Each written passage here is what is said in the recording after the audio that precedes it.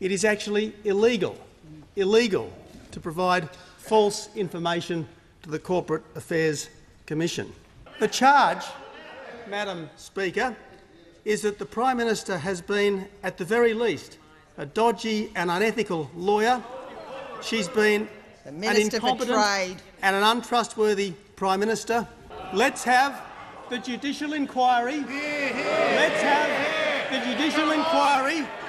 that Mr Ian Cambridge, the then National Secretary of the Australian Workers' Union, was calling for at the time and has been calling for ever since. There has been unethical and illegal conduct here, an abundance of unethical, illegal conduct here.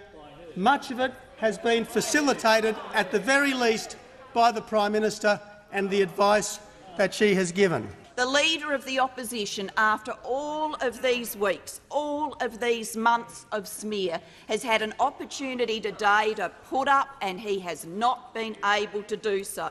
The Leader of the Opposition is now handcuffed to an allegation against me that I committed a crime, and he is handcuffed to the fact that he does not have any evidence of that.